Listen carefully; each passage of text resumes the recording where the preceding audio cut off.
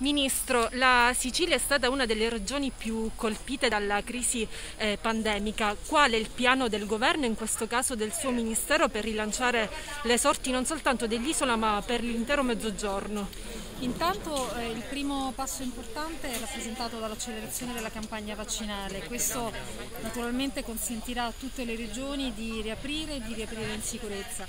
Eh, allo stesso tempo il piano nazionale di ripresa e resilienza ci consente di investire risorse importanti nel mezzogiorno eh, una parte di queste risorse sarà intercettata dalla Sicilia e servirà a potenziare le infrastrutture, a valorizzare le aree portuali e retroportuali e accanto al PNRR naturalmente cercheremo di trovare altre linee di finanziamento per potenziare quelle infrastrutture, soprattutto quelle eh, viarie e ferroviarie che non hanno trovato spazio nel piano nazionale di ripresa e resilienza. Grazie.